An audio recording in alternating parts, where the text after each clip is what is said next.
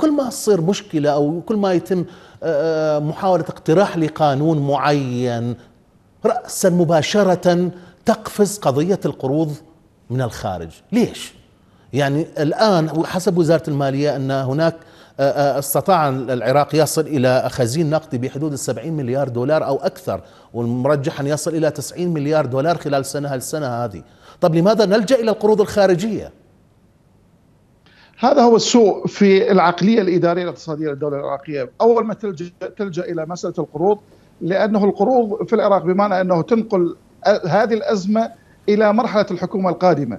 فبمعنى أنه الحكومة الحالية عندما تقترض فوائدها ودفعاتها ستكون ثقل على الحكومة القادمة لأنه لا يوجد حس وإحساس وطني أنه ممكن وفكر اقتصادي سليم أنه يفكر بهذا الموضوع. ناهيك عن أنه كل التقارير الدولية بما فيها صندوق النقد الدولي ال IMF والبنك الدولي يشير إلى أنه القروض في في إدارة الحكومات العراقية تعتبر من القروض السلبية بمعنى أنه العراق يقترض ليصرف هذه القروض على الموازنة التشغيلية. في حين كل العالم بما فيها أمريكا وإنجلترا وأستراليا وكل دول العالم تقترض ضمن أدائها المالي. ولكن هذه القروض تذهب إلى مشاريع استراتيجية يكون فيها انعاش للنمو إجمالي النتاج العام وأيضا تكون فيها فائدة. لكن القروض بالعراق هي أسهل عملية ممكن تقوم بها الحكومات في عملية آه، يعني شرعنة السرقة.